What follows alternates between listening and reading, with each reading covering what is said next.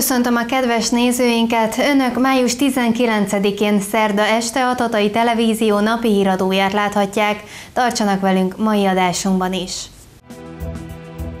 Aktív kikapcsolódási lehetőséget biztosít a Pump Track pálya.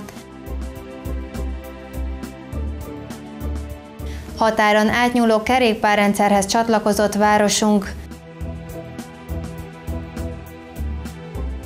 Idén is támogatásban részesült a Máltai Szeretett Szolgálat. Fontos határidőre hívja fel a figyelmet a NAV szakembere. Hivatalosan is átadták Magyarország eddigi legnagyobb pump track pályáját Tatán. Az Országos Bringa Park program keretében 32 millió forintból valósult meg a sportolásra kialakított terület. A fejlesztés nem csak a bicikliseket szólítja meg, gördeszkával, rollerrel és görkorcsolyával is használható a helyszín. Május 19-én hivatalosan is átadásra került az építők parkjában már hónapok óta készülő Pump Track pálya. Az Országos Bringa Park programnak köszönhetően Tataváros önkormányzata 16 millió forint önerőből és 16 millió forint pályázati támogatásból alakította ki a speciális helyszínt. Nekem négy fiam van, és azzal szembesültem, hogy hat éves koruk után nagyon beszűkültek azok a lehetőségek, ahova el lehetett vinni szabadtérre. Ráadásul a gyerekek most egy virtuális világban élnek, hiszen rendkívül jó játékokat tudnak magukkal vinni a telefonjukon. Nagyon-nagyon fontos, hogy nekik is felkínáljunk valami olyan élményt, ahol aktívan, jó levegőn kihívásokkal találkoznak, és a Bringa Park, a pumpapályák, azok kiváló lehetőségek. Nagyon nagy örömmel Eh, bringáztak ott a gyerekek, sokan rollereztek, eh, de azt mondták, hogy görleszkások is eh, szoktak érkezni, és mindegy, hogy mit mozog a gyermek, az nagyon fontos, hogy mozogjon, mozogjon, mozogjon, legyen egy kicsit egészségesebb, és szerintem az a fantasztikus parkot a Tatai tó mellett, amit az önkormányzat felépített, és aminek a legújabb égköve ez a Bringa Park, ez nagyon-nagyon sok embert hozzá fog segíteni ahhoz, hogy mozogjon, hogy rászállja magát a mozgásra. A Pumptrack pálya több korosztálynak is aktív kikapcsolódási lehetőséget biztosít, és nem csak kerékpárral, gördeszkával, rollerrel és görkorcsolyával is használható a helyszín. Én azt látom, hogy ezek a gyerekek nem csak életerőtől duzzadnak, hanem megvan hozzá a kellő intelligenciájuk és a koncentrációs képességük is ami nagyon fontos, hiszen itt nem egyszerűen végig kell menni a pályán, végig gurulni erőből, hanem, hanem oda kell figyelni. Minden egyes dombocska előtt tudni kell azt, hogy annak van egy természetes fizikája, amely visszahat magára a kerékpározóra vagy a rollerezőre, de ezzel kialakul egy biztonságérzetük is. Egy, egy, egy biztos, hogy, hogy ez élmény, élménypark, nem egyszerűen egy kerékpár pálya, hanem egy majd, hogy nem, legalábbis így a felnőttek szemével nézve, ez már extrém élményeket biztosító kerékpáros infrastruktúra.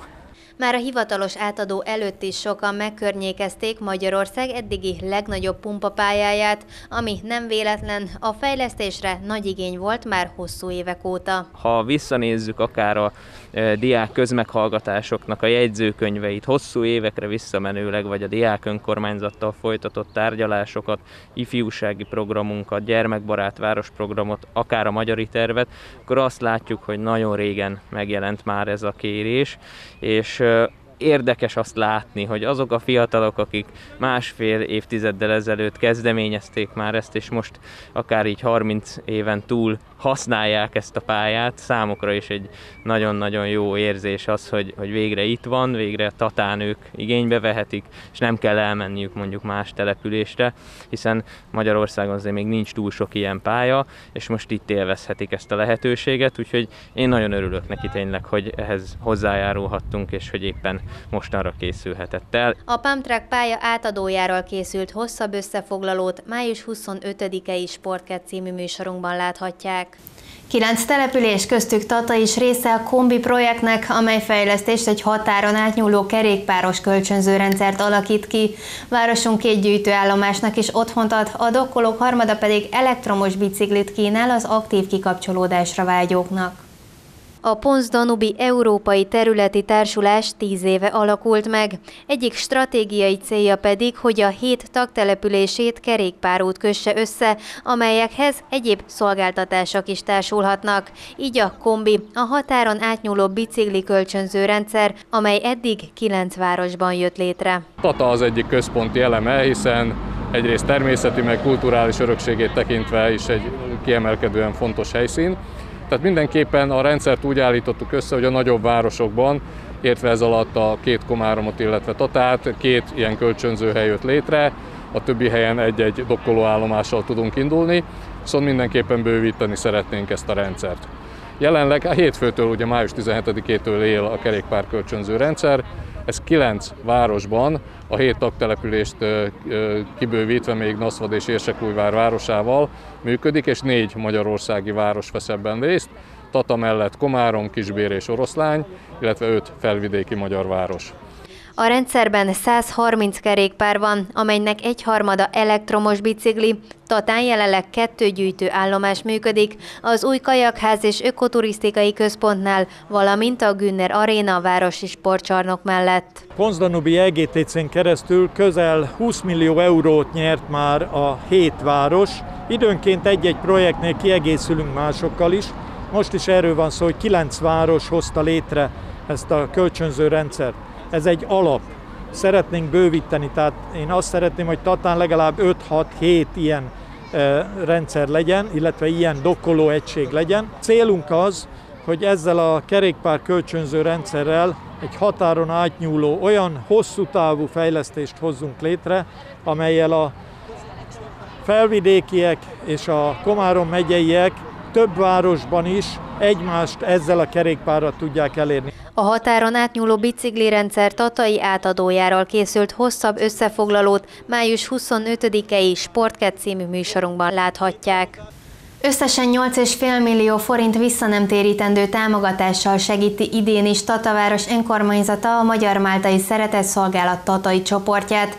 Az összeg a működési költséget, az élelmiszer vásárlását és szállítását segíti, de a Máltai Játszókert üzemeltetésére is figyelmet fordít a felajánlás. Idén is több millió forinttal támogatja Tataváros önkormányzata a Magyar Máltai Szeretett Szolgálat Tatai csoportját. A szervezet tavaly ünnepelte fennállásának 30. évfordulóját, és továbbra is nagy segítséget nyújt a város hátrányos helyzetű lakóinak. Az a e, szeretett e, tevékenység, amit ez a csoport végez most már több mint 30 éve, az egy olyan plusz e, a város életében, amit biztos, hogy az intézményeinkkel vagy a, a cégeinkkel el tudnánk valamit belőle még végezni, de ilyen módon, ilyen formában egészen biztosan nem.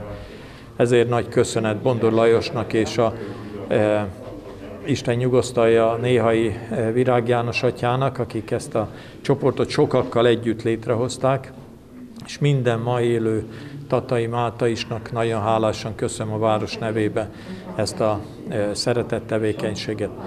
Az önkormányzat pénzzel tudja támogatni ezt a munkát, azzal az összeggel, amivel a működésükhöz járulunk hozzá, illetve a Mátai játszókert működtetéséhez 3 millió forinttal, az Egyesület a közösség tatai tevékenységének a kiadásaira pedig 5,5 millió forintot adunk minden esztendőben. Május 18-án két támogatási szerződést írt alá a Magyar Máltai Szeretett Szolgálat, hiszen összetett tevékenységet végez a tatai csoport. Azt mutatják a számok, hogy a, azt a támogatást, amit a várostól vagy bárhonnan kapunk, a Málta meg tízszerezi. Tehát azért azt gondolom, hogy ez egy jó befektetés, nagyon örülnénk annak, ha a bankokban így lenne, hogy tízszeresen kapnánk vissza a pénzünket. Nyilván ez, ez nem így van az életben, de a Máltai életében ez így van. Hiszen azzal tudunk segíteni, hogy behozzuk külföldi segélyeket, nyilván most a, a vírus alatt ez nem lehetséges, de ugyanakkor a belső adományoknak a gyűjtése, vagy, vagy bármiféle gépkocsikkal való mozgási teszállítás, ez, ezek annélkül nem mennek, szoktam mondani, hogy sajnos még a, szeretet üzemanyagát nem találták föl. És hát minden olyan, amit nekünk is fizetni kell. Nagyon, vannak olyan szolgáltatók, akik nem kérnek tőlünk pénzt bizonyos tevékenységért, de az alapvető szolgáltatásokért nekünk is fizetni kell, és ez a pénz arra fordítandó. Ugye a másik része pedig ugye működtet a Magyar Máltai Szeretett Szolgálati Tatán egy idősek napközi otthonát, ott vannak munka, munkatársak, ugyanakkor működtetünk támogató szolgálatot, vagy a Jászmin utcai játszókertet, amit nem nagy képviség lenne játszótérnek mondani, mert csak egy zsebkendőnyi terület, de ez is egy nagyon jó szolgálatot tesz a környék lakóinak. Magyar Máltai Szeretett Szolgálat Tatai csoportja május 25-től újraindítja adományosztását a megszokott Vasút utca 64-es szám alatt. Május 20-a a személyi jövedelemadó bevallásának határideje. Aki egyetért a tervezetben foglaltakkal és nem tesz semmit, annak május 20-ával automatikusan bevallásá válik a tervezete, kivéve az őstermelőket, az áfás magánszemélyeket és az egyéni vállalkozókat. Május 20-án éjfélig lehet átnézni, elfogadni, módosítani és kiegészíteni a NAV által készített SZIA bevallási tervezetet, amit legegyszerűbben az ügyfélkapuval rendelkezők tehetnek meg a NAV honlapjáról elérhető webes felületen. Aki nem módosít a tervezetén, annak a kiajánlott tervezet lesz az érvényes bevallása, kivéve az őstermelőket, az áfás magánszemélyeket és az egyéni vállalkozókat. Sokan keresik meg a NAV-ot azzal, hogy már nincs meg az a tárhelyen lévő üzenet, amit a NAV küldött. Ebben az esetben sincs gond, hiszen a escl.nav.gov.hu oldalon továbbra is elérhető a bevallási tervezet, tehát az nem tűnt el. Tehát én javaslom mindenképpen, hogy vessék össze a kifizetői munkáltatói igazolásokkal, és egyébként, ha minden rendben van, akkor hagyják is jóvá jóhagyás nélkül is egyébként érvényes bevallás lesz belőle, amennyiben nem egyeznek az adatok, tehát valamiféle eltérés van, akkor azt ki lehet egészíteni az online felületen. Ha valakinek ingatlan értékesítése volt, vagy magánszemélynek bérbeadott, ami ugye nem szerepelhet a bevallási tervezetben, akkor azokkal az adatokkal ki kell egészíteni. Fontos, hogy ezen az online felületen, a jobb oldalon található, a kétszer egy százalékos felület. Ne, ne feledkezzünk el a kétszer egy százalékos rendelkező nyilatkozatokról, ugyanis az első egy százalékot 800 civil szervezet várja Komárom Esztergom megyében, tehát iskolai, óvodai alapítványok, állatmenhelyek, horgászegyesületek. Az elmúlt évben ők 224 millió forintot kaptak, és tudni kell, hogy az adózóknak kevesebb, mint a fele rendelkezik az 1%-ról, és ugye könnyen ki lehetne számolni, hogy akkor akár a 400 millió forintot is elérhetné, hogyha ideális esetben mindenki rendelkezne. Anna ugye azokról sem feledkezett el, akiknek nincs ügyfélkapuja, körülbelül még az adózók egyharmada, akinek nincs ügyfélkapuja, ők kérhették azt, hogy a NAV postázza a bevallási tervezetet. Ez meg is történt május elejéig, több ezer adózó kapott bevallási tervezetet postán. Nem csak ők kaptak bevallási tervezetet postán, hanem a NAV azokra is gondolt, akiknek befizetendő SZIA-juk van, vagy visszaigényelhető SZIA-juk, és nincs ügyfélkapujuk. Ugye nekik is teendőjük van, hiszen amennyiben befizetendő SZIA-juk van, részletfizetést lehet kérni. Tudni kell, hogy 500 ezer forintig kérhető a részletfizetés, ez egy automatikus pótlékmentes részletfizetés, tehát a NAV semmilyen körülményt nem bírál el, semmilyen adatokat nem fog bekérni, hanem amennyiben bejelöli ezt, hogy hány havi részletet kér, akkor rögtön az első havi részletet be kell fizetni május 20-áig, és megy tovább egész addig, amíg ezek a részletek ki nem fogynak akinek pedig visszaigényelhető esziája van. Ugye ezért nagyon kevesen maradtak már, mert általában aki tudja, hogy visszaigényelhető esziája van, már sokkal korábban beadta a bevallást, de ha mégis ilyen lenne, akkor a NAV küldött ehhez a bevallási tervezethez egy kiegészítő nyilatkozatot, amin szükséges megjelölni, hogy postán kéri vissza, vagy pedig bankszámlaszámra. És ezt is kérjük visszaküldeni a NAV felé. És mi van akkor, hogyha valakinek postán érkezett a bevallási tervezet, na de nem egyeznek az adatok, ebben az esetben saját SZIA bevallást kell benyújtani. A NAV egyébként hosszabb nyitvatartással készül az ügyfelek fogadására, tehát Tatán is csütörtökön nyitva vagyunk, két óráig, na de a hosszabb nyitvatartás az a központi ügyfélszolgálatunkon van Tatabányán, csütörtökön 20-án este 6 óráig. Aki esetleg még 6 óra után lenne kérdése, 8 óráig a 18-19-es telefonszámot lehet hívni, ami ingyenes navos infovonal.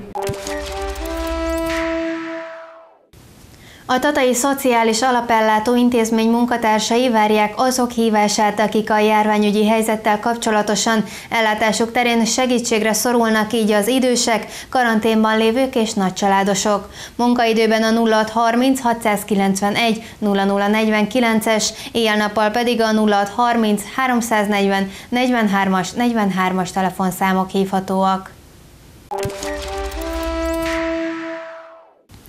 Kilencedik alkalommal szervezi meg a Kunidomokos Múzeum a Grottát. Az idei kiállítása az átjáró címet kapta, így a 40 évnél fiatalabb professzionális képzőművészek és a művészeti egyetemek hallgatói is az adott témában küldhetik be installációjukat július 4-ig a törökkori kiállítás kukat gmail.com e-mail címre.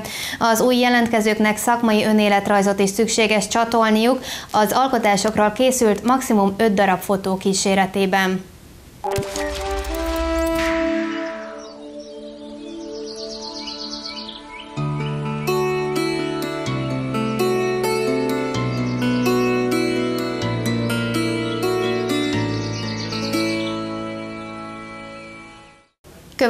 szerda esti híreink még egyszer, röviden. Aktív kikapcsolódási lehetőséget biztosít a Pump pálya.